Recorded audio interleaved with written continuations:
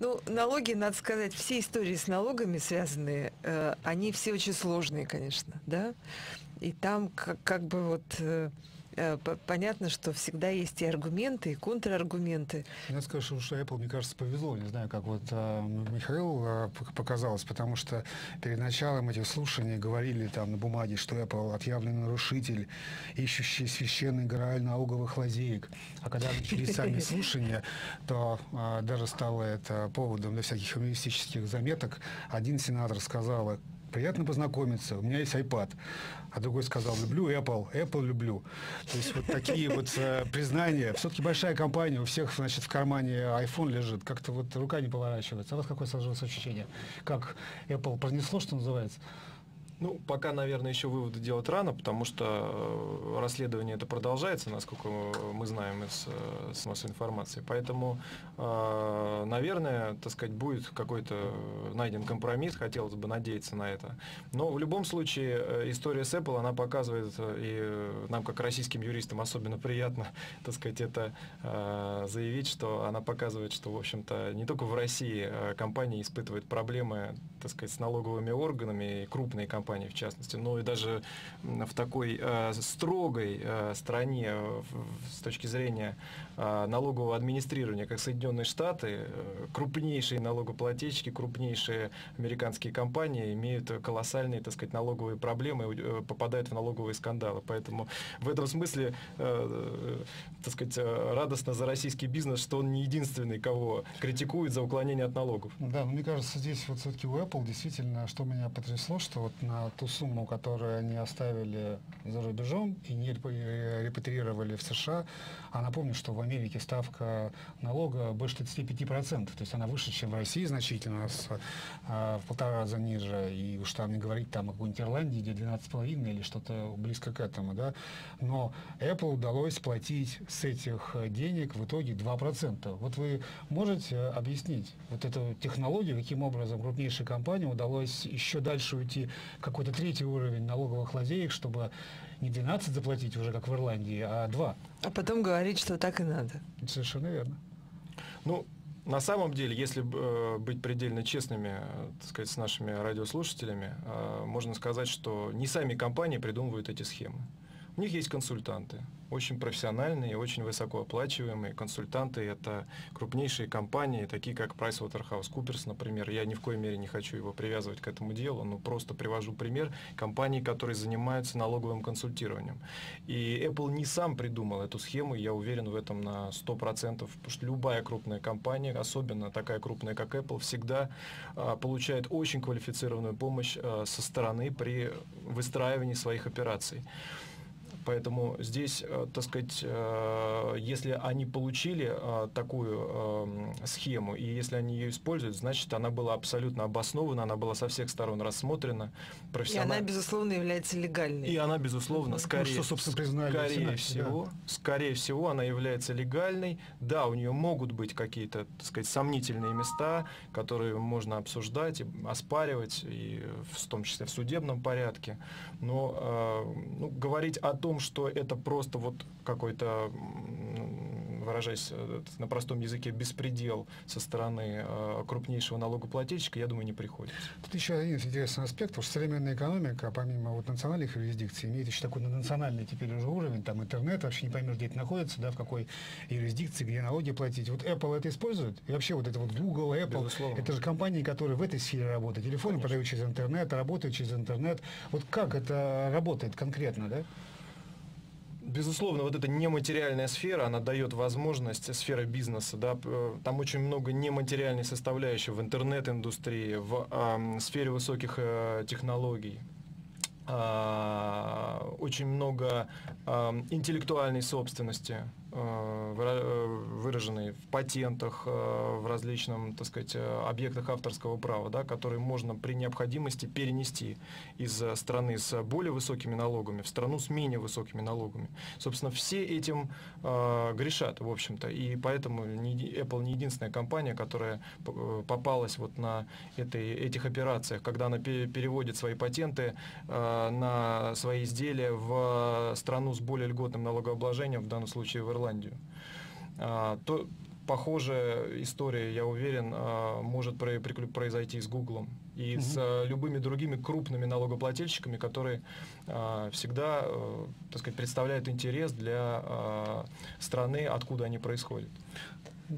А вот если, э, например, компания не ищет э, вот таких вот схем по уменьшению налогов, да, Тогда финансовый директор увольняет такой компанию. Да? Не, ну, а, предположим... Компания разоряется, да, до этого. Предположим, э, предположим, вот Apple не искал бы таких вещей, да, но трудно себе, конечно, представить вот такого капитализма, который этого не делает, ну, допустим, да, э, тогда это был, был бы другой Apple. Конечно. Тогда это была э, гораздо менее богатая компания, гораздо менее влиятельная. Вот какая связь здесь существует? Связь прямая, вы абсолютно верно говорите. Была бы менее богатая, менее конкурентоспособная компания. Ну, в чем бы а. проявлялось, например? Ну, вот они не искали бы, ну, хорошо, ну, заработали бы они там, я не знаю, там, тупо говоря, там, на миллиард меньше. Ну, и что, и чего? Ну, тоже там жадность не может быть бесконечной. Да, 40 миллиардах, 30 миллиардах, то есть порядок да, цифр есть такой. Это, порядок цифр очень большой, да, если брать капитализацию компании, да, и, если я не ошибаюсь, она составляет сотни миллиардов, то 30-40 миллиардов это уже довольно приличная цифра по сравнению со всей капитализацией компании. Поэтому, э, ну, я вот так пошутил, но на самом деле эта э, шутка, она содержит долю правды, что э, компании, которые не оптимизируют налоги, это компании, которые, ну, значит, они неэффективны. Значит, неэффективны их финансовые службы, их финансовые директора и их консультанты. Поэтому э, я думаю, что это просто показательный пример того, как э, крупные компании оптими, э, тоже, тоже оптимизируют налоги. Э, не, потому что э, очень э, часто бытует такое мнение в профессиональных э, деловых кругах, что э, больше всего уклоняются от налогов небольшие компании, которых сложнее поймать, и так сказать, они уходят в какое-то такое серое поле. На самом деле это не совсем так. Вот, э, и это, эта история с Apple, она явный тому пример, что, в общем-то, крупные компании, они занимаются тем же самым, но просто на более, если можно так выразиться, продвинутом уровне.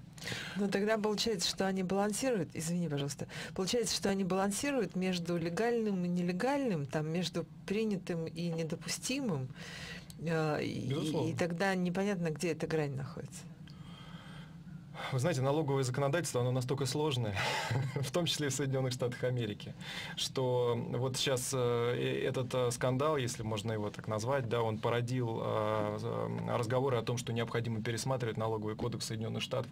Он показал свою несостоятельность, даже, даже казалось бы, в такой развитой, в законодательном плане стране, как Соединенные Штаты, mm-hmm. критике подвергся серьезный налоговый кодекс и налоговая система. То есть критики, потому что там много э, как бы двусмысленностей, лазеек. лазеек, или потому что очень жестко все? Потому что, с одной стороны, безусловно, есть перегибы с точки зрения высокой ставки налога. Да, 35% это очень высокая ставка налога. И а, понятно, что продавая по всему миру айфоны и айпады и прочие, так сказать, э, свои товары, не, не, не хочется терять, терять свои конкурентные преимущества и платить 35% э, так сказать, в стране, э, откуда происходит этот бизнес. То есть э, хочется воспользоваться возможностями международного бизнеса и платить налог там, где он меньше. Поэтому налоги – это одна из статей расходов. Естественно, с этими статьями финансовые службы компании, юристы тоже работают. Я думаю, имеет смысл поговорить о том, как дальше компании будут прижимать вот э, с разных сторон, а уже явно, что эта тенденция приобрела такой мировой масштаб, потому что есть и усилия американских налоговых органов, которые еще пару лет назад приняли э, закон, который предусматривает информирование американской налоговой службы АРС о том, э, как себя ведут, какие доходы получают граждане, компании американские. Сейчас эта инициатива приобрела уже такой многосторонний характер. Через двадцатку ОСР готовит какую-то инициативу, которую они осенью обнародуют. В каждой стране почти говорят о такого рода похожих делах. В Австралии там своими компаниями борются. Во Франции была эта история с этим министром, который там в швейцарском банке счет держал. Все истории примерно про одно и то же. На этой неделе ЕС, саммит ЕС принял решение о обмене информацией банковских счетов. И уже и Австрию, которая была самой закрытой, расхулачили. И Люксембург тоже согласился. Теперь они займутся Швейцарией, Сан-Марино, там другими юрисдикциями. Ну вот конкретно, как вы считаете, насколько эти меры будут действенными, насколько быстро они дадут э, конкретный, ну, для компании негативный, а для бюджетов позитивный эффект? Э, хороший вопрос. Э, вы знаете, я думаю, что это э, сложно прогнозируемый процесс с точки зрения скоростей. Да? И многое тут зависит от потребностей бюджетов соответствующих государств. Потому что, ну, собственно, чем вызваны такие действия, как нам кажется? Ну, нам кажется, что совершенно очевидно, что они вызваны финансовым кризисом и недостатком средств в бюджетах стран Евросоюза, в бюджете Соединенных Штатов Америки, крупнейших государств мира. А, и попытки найти дополнительные доходы, они приводят э, к каким-то а, более энергичным действиям а, в отношении налогового, в том числе налогового администрирования. И попытки поймать тех Э, неплательщиков или тех, кто платит налоги по э, меньше, чем могли бы платить и так далее. То есть поэтому потребность бюджетов этих э, государств в дополнительных доходах, она будет стимулировать ускорение этих процессов. Потому что ведь понятно, что, так сказать, любое заявление, оно может реализовываться несколько лет, или оно может реализовываться несколько месяцев. Да? Зависит от того, насколько это нужно э, той власти, которая это декларирует. Поэтому я думаю, что здесь все упирается в основном в финансовую, так сказать, потребность э, в дополнительных доходах. А она, понятно, что существует, потому что Евросоюз тратит деньги на помощь э, сначала Греции, потом на помощь Кипру, потом на помощь э, Португалии, потом, возможно, Испании и каким-то, возможно, другим странам, своим членам. И, естественно, так сказать, эти деньги, они должны откуда-то браться. Это же не деньги, взятые из потолка. Это деньги налогоплательщиков, налогоплательщиков Германии, других развитых Франции, других развитых стран Евросоюза. Да, естественно, а, есть желание компенсировать эти деньги, и надо их откуда-то взять. Вот, собственно говоря, это и порождает эти, эти а, так сказать, действия, которые, конечно, нам непонятно на самом деле, насколько быстро они будут реализованы, потому что это, эти обсуждения, они происходят последние 10 лет. Мы mm-hmm. достаточно плотно следим за ситуацией, чуть ли не ежедневно, за всеми новостями, которые происходят уже последние 10 лет в области налогового администрирования международном масштабе э, в других странах, в Российской Федерации. И мы видим, что э, некоторые процессы пробуксовывают, они могут годами обсуждаться и, так сказать, и не приходить к эффективному какому-то а, а, положительному результату. Ну вот пример с ФАТКой, да, с американским законом, который предусматривает, что банки должны сообщать о счетах американских налогоплательщиков. Это э, пример такого конкретного шага вполне, да? Абсолютно. Но вот э, Россия пока не, присоедин, не присоединилась, другие страны уже присоединились. Это даст эффект? То есть вот... Э, Безусловно. То есть это как раз пример того, что действительно уже укрыться, скажем, э, просто в обычных юрисдикциях становится тяжело, нужно идти куда-то совсем далеко, да?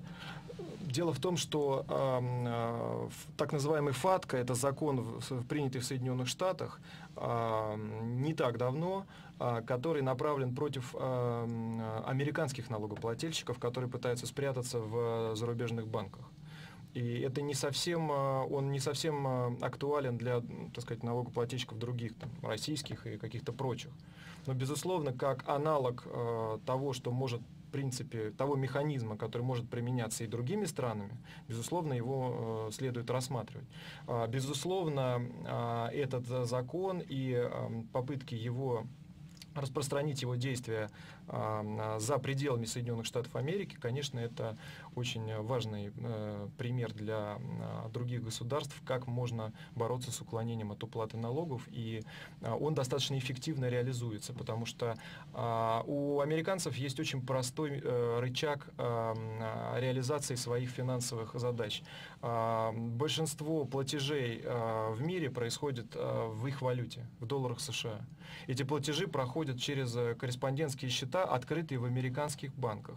То есть вот когда вы совершаете долларовый платеж, даже если он mm-hmm. происходит в России, это означает, что в этом платеже так или иначе участвует корреспондентский банк э, в Соединенных Штатах. И э, поэтому у них есть этот рычаг. Они могут э, тем банкам, которые отказываются от сотрудничать, или банки тех стран, которые отказываются сотрудничать, они могут перекрывать им закрывать им, э, перекрывать им кислород, закрывая им э, корреспондентские счета. Это очень сильная и очень эффективная мера, которую они, безусловно, угрожают ее использовать. И в том числе и облагать дополнительным налогом операции по этим счетам. Я не хочу, может быть, углубляться в какие-то очень такие технические детали да, этого процесса, но, безусловно, у Соединенных Штатов есть очень сильный, сильный рычаг, и он, безусловно, будет действовать, поэтому эта мера будет, я думаю, быстро реализовываться. Другой вопрос, что для России, может быть, она не так важна, поскольку она касается в основном борьбы с э, американскими неплательщиками налогов. Она не касается всех остальных. А вот по поводу американских неплательщиков налогов э, вас спрашивают здесь э, через Твиттер. А что бывает в США за неуплату налогов? Например, что грозит, э, предположим, большим компаниям? Ну, а, я думаю, что мы э, прекрасно с вами знаем и слышали много раз, что в Соединенных Штатах очень строгие, строгие, строгие наказания за уклонение от уплаты налогов. И даже а, был э, не так давно какой-то известный пример, когда даже голливудского актера посадили в тюрьму за неуплату налогов. А, поэтому, конечно, э, Америка, она известна своим строгим, в том числе уголовным законодательством, да, и это, конечно, это стимулирует э, все-таки и, ком, и компании, и граждан э, Соединенных Штатов э, все-таки быть более исполнительными, добросовестными. Вот потом, когда приходят клиенты, вы консультируя их, как рассказываете об офшорных зонах? Вообще они остались в мире? Или это уже, сказать, вот такой класс, как эти динозавры вымерли, так вот через два года уже офшорные зоны это будет тоже исчезнувшее явление? Ну, вы знаете, все по-разному понимают это слово офшорные зоны, да, а мы а, в него вкладываем а, такой смысл, мы как юристы, как так сказать, те, кто профессионально занимается этой сферой, это безналоговая юрисдикция, то есть э, некая зона, в которой можно вести бизнес, не платя никаких налогов. Безусловно, такие зоны остались. А, и э, остались, и по-прежнему они используются, и в них происходят сделки. И э, мы знаем, что вот, например, крупнейшая сделка была, которая у всех на слуху по приобретению ТНК BP. Мы знаем, mm-hmm. что э, там в структурировании этой сделки, при структурировании этой сделки там были заняты компании из различных юрисдикций, в том числе из так называемых офшорных зон. Это, это распространенная практика, и многие э, иностранные компании продолжают использовать офшорные зоны. Это всем известные Бермуды, Каймановые острова, Британские Виргинские острова и многие другие юрисдикции для целей э, так сказать, структурирования тех или иных сделок, в каких-то случаях законного. То есть э, налоговое законодательство, я повторюсь, оно достаточно сложное, не только в России, но и в любой другой стране, как правило. Э, и оно позволяет в тех или иных случаях использовать законно, на законных основаниях офшорные компании. А, то есть компании, зарегистрированные в офшорных зонах, и даже не всегда в, с целью ухода от налогов, а иногда и с целью просто, э, так сказать, э, выхода на какую-то более удобную, в какую-то более удобную юрисдикцию для структурирования какой-то сделки. С точки зрения применимого права в этой юрисдикции. Во многих юрисдикциях действует английская система права, э, и судебное производство э, происходит по, так сказать, с применением этой системы. Это более удобно, чем, может быть, применение какого-то местного права, в том числе российского, например, в случае российского бизнеса. Поэтому они продолжают оставаться. И